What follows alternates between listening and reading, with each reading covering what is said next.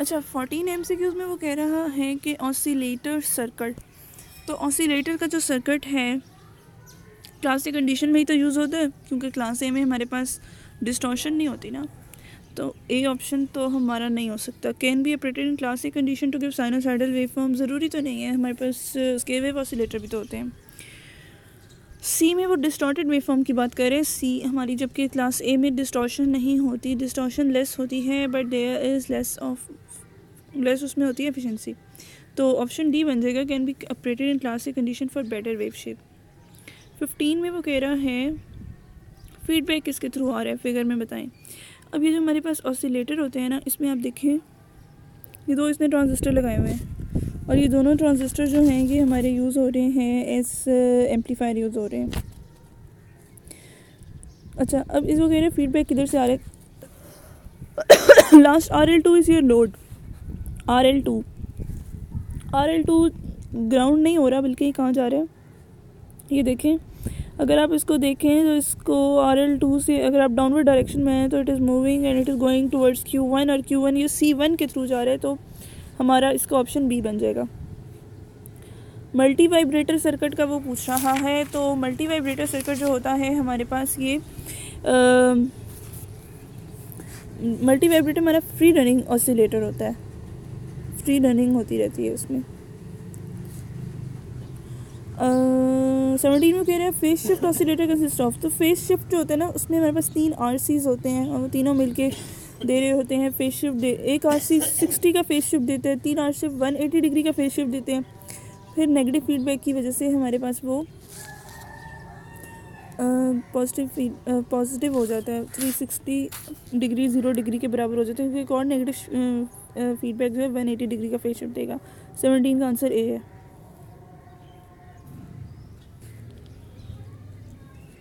अच्छा।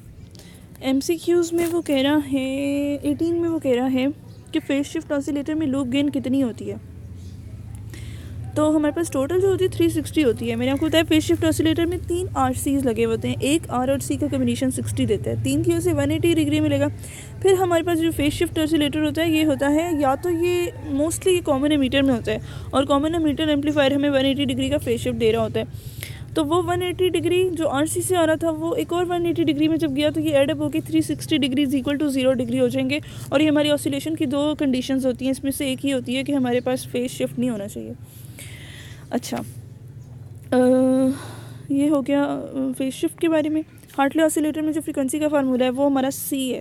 मैं यहाँ पे फिर रिपीट कर दूँ इस वीडियो में कि हमारे पास इसने दो फ्रिक्वेंसीज की बात की थी Wien bridge oscillator phase shift की। वाइन ब्रिज की होती है one by two pi R C there is no any square root in the case of phase shift oscillator the frequency of oscillation is one by two pi square root नहीं one by two pi R C और square root सिर्फ़ six के ऊपर होता है। तो six का square root आप निकालें तो एक कॉन्स्टेंट वैल्यू आ जाती है। आई टू ये कुछ टू समथिंग कोई कांस्टेंट वैल्यू आ जाती है टू या थ्री के दरमियान में होती है। ओके okay, तो नाइनटीन जो इसका आंसर सी है।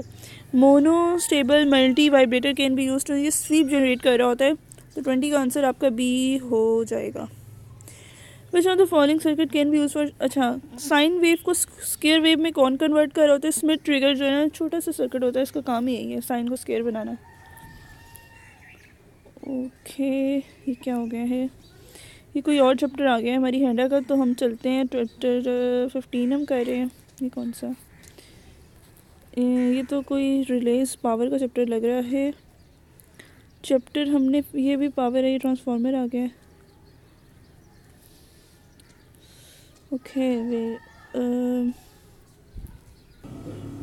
अच्छा ट्वेंटी टू में वो कह कह रहा है which are the following steps will help in frequency stabilization of an oscillator तो अगर हम ट्यून सर्किट को यूज़ करेंगे ना तो हमारे पास फ्रीक्वेंसी की स्टेबलाइजेशन हो जाएगी इंस्टेड ऑफ़ अदर ऑप्शंस अच्छा ट्वेंटी थ्री में वो कह रहे हैं which oscillator incorporates two inter dependent circuit such the output of each circuit controls the input of the other तो ये हमारा रिलैक्सेशन ऑसिलेटर होता है। स्टॉप uh, ऑसिलेशन कब होगी? जब ट्रांजिस्टर की आप गेन को रिड्यूस कर देंगे ना तो फिर आपकी ऑसिलेशन स्टॉप होंगी। एक स्पेसिफाइड वैल्यू होनी चाहिए इसकी गेन की। It should be it should fulfil the Barkhausen criteria अच्छा ट्वेंटी फाइव में वो क्या कह रहे हैं? फीडबैक इसमें क्या है? तो फीडबैक हमारे पास हमेशा रीजनरेटिव होता है। फीडबैक हमेशा हमारे पास रीजनरेटिव होता है, क्योंकि वो पॉजिटिव बन रहा होता है ना तो रीजनरेशन का उसको नाम देंगे। इसमें वो पूछ रहे हैं कि ऑसिलेटर फ्रिक्वेंसी कौन वेरी करे? आप देखें, उसने हर के साथ हर कैपेसिटर के साथ वैल्यू दी हुई है। सी टू है जी, ये सी ई है, ये सी थ्री है, ये सी फोर है सी वन के साथ नहीं दी हुई उसने मिस कर दिया तो ये हमारा, आप देखें, ये जो टैंक सर्किट लगा हुआ है, ये वाला, ये एल वन के सामने सी वन है और ये वेरिएबल है। अच्छा। ये ट्वेंटी सिक्स का हो गया। अब आर सी जो होते हैं ना R C resistor capacitor resistor की वजह से फ्रीक्वेंसी होती है लो जब आपका आ जाता है ना एल सी तो उसमें फ्रीक्वेंसी मेगा में जाती है, लेकिन आर सी हमेशा किलो हर्ट्स में जनरेट करते हैं ऑप्शन ए बन जाएगा। One six mega hertz crystal by frequency tripler तो आउटपुट आपका थ्री टाइम्स होके मल्टीप्लाई होगा सिक्स मेगा से that is eighteen mega hertz अब देखिए क्रिस्टल ऑसिलेटर की बात कर रहे हैं। इसकी भी फ्रीक्वेंसी मेगा में होती है। हार्टले कॉलपेट क्रिस्टल की फ्रीक्वेंसी के लिए आपने मेगा हर्ट्स को क्लिक करना है। अगर आरसी है या वाइन ब्रिज क्योंकि वाइन ब्रिज में भी आरसी होते हैं तो उसमें आपने किलो हर्ट्स पे क्लिक करना है। Typical Q for a typical quality factor crystal के लिए कितनी होगी? Option number D twenty five thousand capacitive voltage voltage divider अगर आपका लग रहा है तो वो आपका कॉलपेट्स है। अगर इंडक्टिव है देखें कॉलपेट में आपके पास दो कैपेसिटर होते हैं। तो कैपेसिटी वोल्टेज डिवाइडर होगा ना दैट विल बी कॉलपेट दो साइंटिस्ट के नाम पे है। R F feedback oscillator are usually ये आ, ये रेडियो फ्रिक्वेंसी के जो ऑसिलेटर हैं ये ट्यून होंगे एल और सी को वेरी करने से। ऑप्शन नंबर सी हो गया थर्टी टू का। अच्छा नाइनटीन में वो पूछ रहा है तो ये जो नाइनटीन में हमारी एक फिगर बनी हुई है this is the voltage control oscillator this is the V और मेरे ख्याल से यही वीसीओ हमारे पास फ्रिक्वेंसी मॉड्यूलेशन में यूज़ होता है।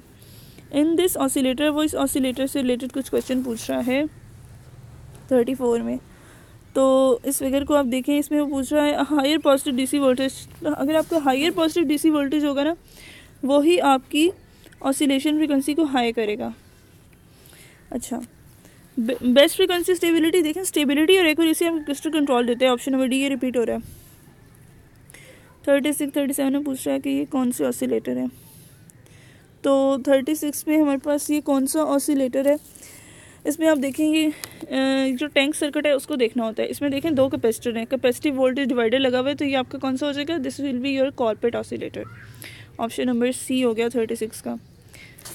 In this oscillator circuit shown in figure twenty अच्छा थर्टी सेवन में वो आ, पूछ रहा है कि ये हमारा किस फीडबैक के लिहाज से यूज़ होगा? अब आप देखें ओवरऑल फीडबैक आपका पॉजिटिव बनना चाहिए। यहाँ इसने ये जो टैंक सर्किट बनाया हुआ है इसके ऊपर इसको लिखना चाहिए तो जहाँ इसने सी ए लिखा है this is the A note और जो नीचे वाला capacitor that will be C V और सी बी और ये नोड होगी ये बी होगी। तो वोल्टेज अक्रॉस सी बी इस नेगेटिव फीडबैक के लिए यूज़ होगा। ये नेगेटिव फीडबैक आगे लगा हुआ है कॉमन मीटर ठीक है? कॉमन मीटर भी देते हैं one eighty degree phase shift तो ये भी एक नेगेटिव फीडबैक होगा ये दोनों मिलके पॉजिटिव फीडबैक बना देंगे। 360 डिग्री ज़ीरो डिग्री और ऑसिलेशन को सस्टेन करवाएँगे। इसमें बताएँ जी कौन सा है आपका ट्यून के लिए? ये नज़र आ रहा है। थर्टी एट में ये फिगर के लिहाज से पूछ रहे हैं तो इसमें वेरिएबल एल वन है। तो ऑप्शन थर्टी एट की ए बन जाएगी। Free In a free running multi vibrator, each stage is cut off for one microsecond. अगर एक हर स्टेज वन माइक्रोसेकेंड के लिए है तो तो फिर हमारे पास वो ऑसिलेशन की फ्रिक्वेंसी कह रहे हैं। अगर हर स्टेज कट ऑफ़ हुई है वन माइक्रोसेकेंड के लिए तो फिर इसको आप एक स्टेज का उसने बताया हुआ है, इसको आप पहले टू पे डिवाइड करेंगे तो ये आ जाएगा point five something point five milli second आ जाएगा और फिर आप फ्रीक्वेंसी कैलकुलेट करेंगे तो वो आपकी क्या आ जाएगी? डी ऑप्शन आ जाएगी. अब वन किलो हर्ट्स है, देखें फिर किलो की बात हो रही है। जब किलो की बात होगी तो आपने कम आर सी वाले देखने हैं तो आर सी इसमें से कौन से वन पे जो ऑसिलेटर फोर्टी वन में वो एल डबल हो गई है सी हाफ़ हो गई है। तो फ्रीक्वेंसी आपकी अनचेंज रहेगी, क्योंकि one by two pi L one by two pi square root L C होता है। एल डबल हुआ सी वन बाई टू हुआ कैंसिल हो गई टू टू से तो unchange option D positive feedback आपकी रीजनरेशन होती है। अगर टेप्ड क्वाइल है तो आपका हार्टले ऑसिलेटर होगा। ये भी रिपीट हो रहा है। हार्टले में दो इंडक्टर होते हैं कॉलपेट में दो कैपेसिटर होते हैं। फोर्टी फोर से फोर्टी नाइन को मैं स्किप कर रही हूँ। ऑसिलेटर्स है। तो ऑसिलेटर का ओवरऑल जो फीडबैक है, उसके लिहाज से आपने बताना है कि पॉजिटिव फीडबैक होता है, क्योंकि उसमें ऑसिलेटर का होता है तो फीडबैक पॉजिटिव है ना। टेंक सर्किट ठीक है वन एटी डिग्री के फ़ेज़ शिफ्ट के साथ आ रहा होता है। लेकिन आगे फिर वो हमारे पास कॉमन एमीटर या इन्वर्टिंग में जा रहा होता है। Okay okay. 51 what will be the frequency of tuned ये उसने एल सी की वैल्यू बताई हुई है। आप एल की वैल्यू लगाएँ 240 माइक्रो आप कैपेसिटी की वैल्यू लगाएँ वन एटी पी को। तो ये आपने लगाना है one by two pi square root L C में तो आपका आंसर आराम से आ जाएगा। अब इसमें पूछ रहा है, इसमें उसने फ्रीक्वेंसी बता दी है कैपेसिटी की वैल्यू भी बता दी है तो एल पूछ रहा है। तो ये भी आप कैलकुलेट करें। फिफ्टी वन का आंसर सी बन जाएगा seven six five point seven और फिफ्टी टू का हमारे पास जो आंसर आएगा that will point one micro henry का आपको चाहिए। Crystal oscillator frequency is very suitable क्योंकि इसका क्वालिटी फैक्टर हाई होता है। फिफ्टी फोर पैरासिटिक होती ही अनवांटेड ऑसिलेशन है और वो स्ट्रे इंडक्टर्स के पेस्टेंस की वजह से आ रही होती हैं। फिफ्टी फोर का आंसर बी है। Crystal oscillator is use because उसकी हमारे पास जो फ्रीक्वेंसी ऑफ़ ऑसिलेशन है वो कांस्टेंट होती है स्टेबल होती है। सरफेस एक ऑस्टिक वेव ऑसिलेटर आपकी डी आईसी एप्लीकेशन में यूज़ हो रही होती है। Uh, ये भी आप कर लेंगे। एल की वैल्यू इसमें आपने बतानी है। फिफ्टी सेवन में पॉइंट वन माइक्रो शायद इसने उसी तरह की वैल्यूज़ को लेकर रिपीट किया इसकी बताएँ अब। One by two pi L C होता है। अब देखें वो तो फार्मूला है ना फ्रीक्वेंसी का one by two pi square root L C लेकिन इसमें हमारे पास दो कैपेसिटर यूज़ हो रहे हैं। एल की तो वैल्यू आप एक ही लगाएँगे। इन दो कैपेसिटर में से किसकी वैल्यू लगाएँगे? एक की तो नहीं लगानी ना हमने। तो ये दोनों कैपेसिटर हमारे पास किस कम्बिनेशन में लगे हुए हैं? सीरीज़ कम्बिनेशन में है। और सीरीज़ में कैपेसिटर का फार्मूला जो होता है, वो क्या होता है? रजिस्टर से इन्वर्स हो जाता है। यानी कि क्योंकि सीरीज़ में है तो ये हमारे पास होगा C one C two divide करेंगे आप C one plus C two तो फिफ्टी एट का इस लिहाज से आपका आंसर बन जाएगा डी इसमें बताएँ फिफ्टी नाइन में। तो देखें आर दोनों की वैल्यू सेम है सी दोनों की वैल्यू सेम है one by two pi R C आप इसमें सिर्फ़ करेंगे। आपने डबल नहीं करनी वैल्यूज़ तो इससे आपका फिफ्टी नाइन का आंसर आ जाएगा C two point eight nine kilo अच्छा। uh, इसमें से odd one out quartz set steatite तो इसमें स्टीलाइट जो है that is the different option B is the correct option sixty one में वो कह रहा है, वन किलो. अब देखें फ्रिक्वेंसी कम है। जब कम फ्रिक्वेंसी होती है तो वाइन ब्रिज या फेस शिफ्ट में से होता है। ऑप्शन ए अब एल सी बहुत हाई तक चले जाते हैं फाइव हंड्रेड मेगा हर्ट्स बनेगा सिक्सटी टू सिक्सटी थ्री में वो कह रहा है एल की और सी की वैल्यू उसने बताई हुई है। तो हमारे पास सी ऑप्शन बन जाएगी twelve hundred kilo hertz one mega देखें वाइन और फेस शिफ्ट को आपने चूज़ नहीं करना, मेगा की बात हो रही है तो इसका कॉलपेट ऑसिलेटर बन जाएगा। R C network shown in figure twenty three is use in a low frequency oscillator तो फ्रीक्वेंसी आपकी कितनी होगी?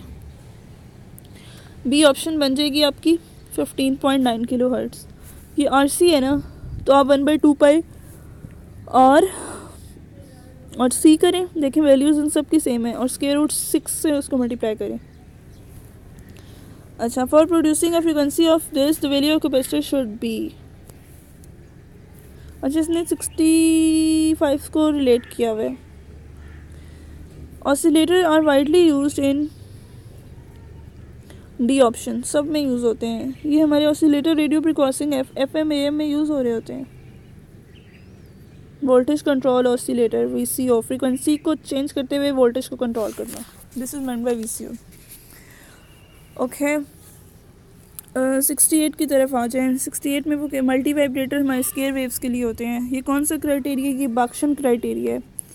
The requirement of an oscillator using positive feedback amplifier as an oscillator is that तो इसमें हमारे पास ये पॉजिटिव फीडबैक होना चाहिए। इनिशियली ग्रेटर होनी चाहिए। उसके बाद कम हो सकती है तो ऑप्शन डी हो जाएगा।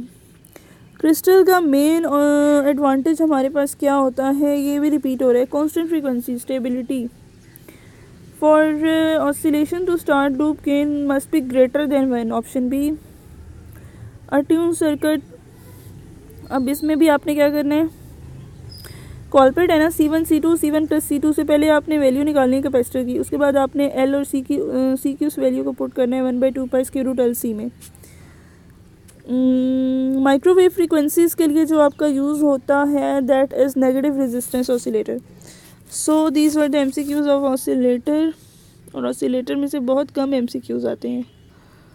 Anyhow this was M C Qs of oscillator related to Honda thank you very much.